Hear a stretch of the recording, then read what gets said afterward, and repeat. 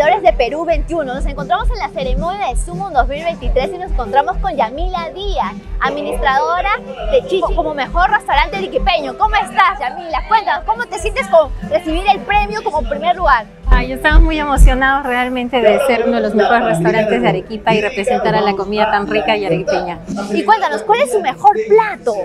El chupe de camarones. Uy, no se lo tienen que perder, ¿eh? Pero coménteme, ¿qué opinas de los premios, de los premios Sumo?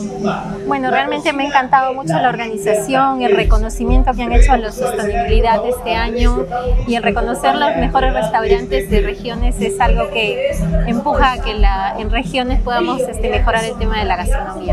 Muchas gracias, Yamila. De todos los seguidores de Perú 21, no se olviden visitar el restaurante Chiches en Arequipa.